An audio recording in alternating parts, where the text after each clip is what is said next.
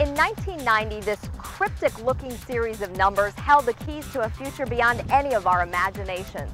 A future where you'd be able to travel to nearly any corner of the world, even universe, in about as much time as it takes to write your name. At first glance, it may have looked like an alien code lifted from the pages of a sci-fi novel, when in fact, it was the very first web address. In the beginning, the information superhighway we take for granted was pretty much like this quiet country road. If you were on it, you were pretty much all alone.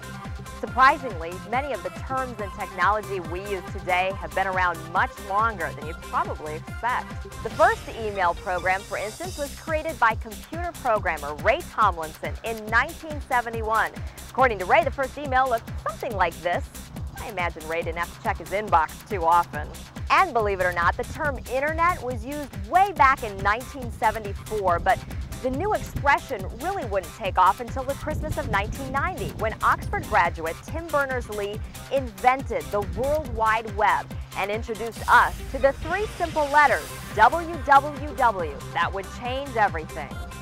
As they say, we've come a long way, baby. Today, there are an estimated 110 million websites, over 30 billion web pages, and the numbers are growing so fast, it's enough to make Bill Gates' supercranium spin like a top.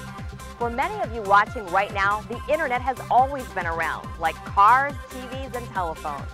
But in the three short decades since that first scrambled email, this remarkable technology has irreversibly changed the way we live, work, and play.